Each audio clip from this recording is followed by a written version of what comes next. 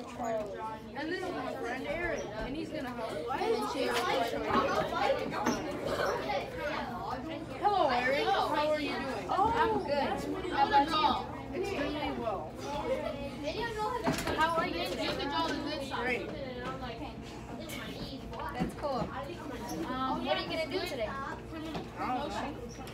You wanna come with me to the store? It means good and bad, so we could explain that it means both, not